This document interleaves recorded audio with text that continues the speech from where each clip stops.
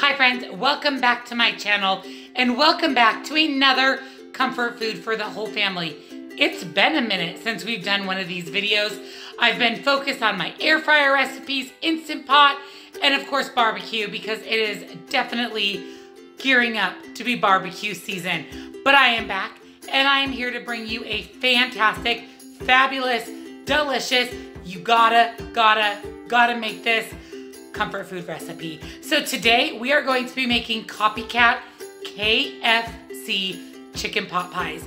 This is going to be so good. I literally, you guys, cannot wait. This recipe is all made from scratch, but really truly it's easy breezy. Does not take very long and it is absolutely phenomenal. So if you wanna see what I have in store for you tonight with our comfort food for the entire family, Copycat KFC chicken pot pie, then all you have to do is keep watching.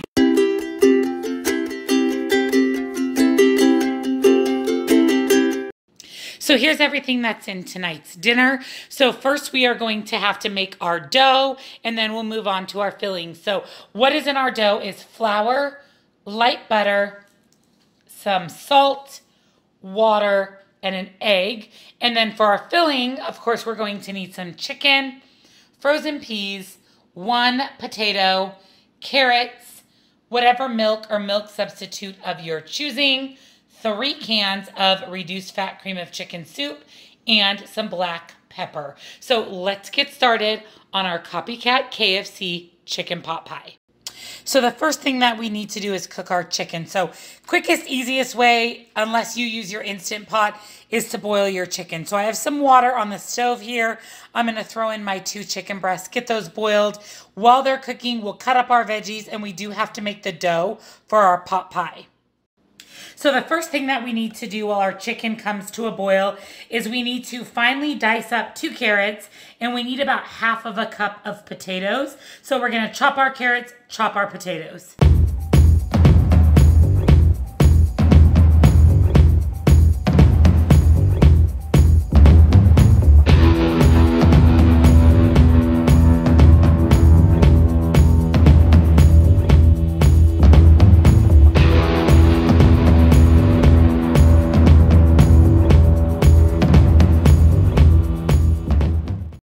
The first thing that we need to do is make our dough. So the fastest way is in a food processor. So here I have measured out my 250 grams of flour. So this recipe is done in grams and milliliters. So you could always convert that with a conversion calculator or you can just use the grams on your scale. So I just did that and I've got one egg yolk. So we're gonna add one egg yolk.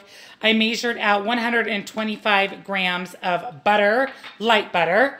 We're also going to go ahead and add in some salt, and then we're gonna add in about 50 milliliters of water, turn this on, process it down until we have dough. And there's our dough for our pot pie. So we're just gonna go ahead and throw this into the fridge while we finish cooking down our chicken. Next, we're gonna throw our veggies, our carrots, and our potatoes in the boiling water and get those cooked down a bit. Then we'll assemble our filling. I just took our chicken breast out of the boiling water. Here I have my carrots and my potatoes. I'm using the same pan, just adding some fresh water to it. We're gonna go ahead and cook our potatoes and carrots over medium high heat for eight to 10 minutes or until they are softened. And in the meantime, we are gonna go ahead and dice up our chicken and put together our crust. So here I've got my chicken all cut up. And we'll move over here to the stove. And I've got my potatoes and my carrots in a pan. Once these cook down, we're going to add all the rest of our ingredients except our dough to this pan. Let it cook down for just a couple of minutes to kind of meld the flavors. And then we're ready to put together our pot pie. So once your veggies and potatoes have cooked down and are softened a little bit, I went ahead and drained them, returned them to the same pan. I'm going to go ahead and add in my chicken, again, to the same pan here. And then we're going to go ahead and add in one half of a cup of frozen peas. We're going to add in three cups of our almond milk. And then we're going to add in three cans of our cream of chicken soup. So you're gonna add all of that into your pan here. Add the other two cans of soup. So there's one, two, two. Whoa, making a mess here cooking our pot pie. And last but certainly not least, three. And then of course we're going to go ahead and we're gonna add in just a little bit of your basic salt and pepper. And then we're gonna give this a stir. We're gonna let this cook down for just a couple of minutes just to kind of meld the flavors. And then we'll be ready to put our pot pie together. So here's the filling for our KFC chicken pot pie. I'm going to let this cook down on the stove for just a couple of minutes. I'm going to add it to my pie pan and then we're going to roll out our dough and we're going to make this bad boy into a delicious chicken pot pie. So here's our completed filling. I ended up putting it into a baking dish only because it is so much filling. Now this is a smaller dish. This is like a six by nine, but it is definitely a baking dish versus a pie dish.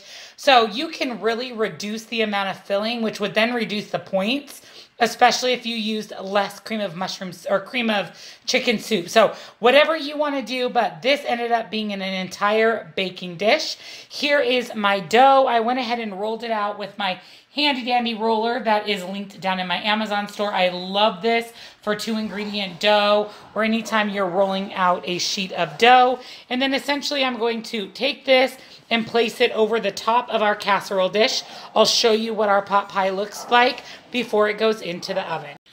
All right, guys, so you always ask, is there ever a recipe that you make that you didn't like or didn't turn out? So here you go. So not that it didn't turn out, it's just it didn't turn out as well as I was hoping. So the dough ended up being quite sticky. I would recommend either lowering the butter or adding additional flour. I was able to get it on top of the pot pie, but this sucker is full. Like this is full. So I decided to go ahead and put it on a sheet pan. The recipe does want you to cut a couple of slits in the top of the pot pie. It also suggests making individual pot pies. So I don't feel like I need to cut a slit because as you can see, I have a couple of openings in my dough. So I'm still going to put this in the oven. We are not going to call this a fail yet. Let's get it in the oven. Let's see what it tastes like. And then I'll let you know my honest opinion. Is it a go or is it a go ahead and skip this recipe? All right, I just pulled the chicken pot pie out of the oven. Good thing I put down a sheet pan because it dripped over. So it is not a fail. It actually looks decent after it came out of the oven. So I'm going to cut mine into eight servings.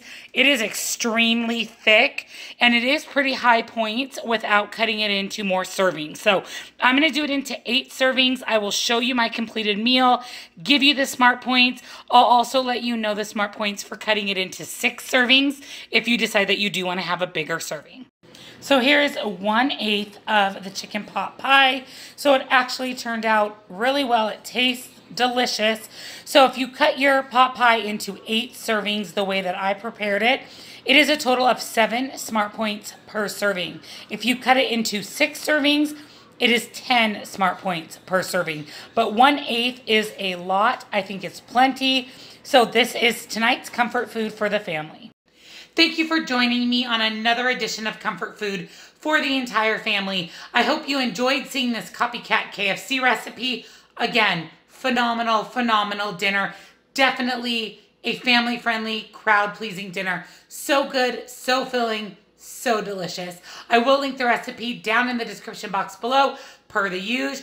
And any modifications that I make, I always list those next to the recipe as well. I've been getting a lot of questions about my description box. So down in the description box, which is right below where you give videos a thumbs up or thumbs down, click the little show more and it will list everything that is included in the description box. So in mine, not only do I have the recipe, but I have all of my discount codes. I actually will be doing a video about my discount codes. It's a very very highly requested video. Also, my Happy Mail, my email, my Facebook group, my Instagram, everything you ever need to know is always down in the description box. So make sure you check it out. If you're new to my channel, I'd love it if you'd subscribe. If you hit the little bell, you'll be notified every time I upload a new video, which of course you want to do that. Give this one a thumbs up Comment down below. Let me know what you thought of this comfort food recipe. And are you ready for some more comfort food videos? Let me know that as well. Love you guys. See you in the next one. Bye.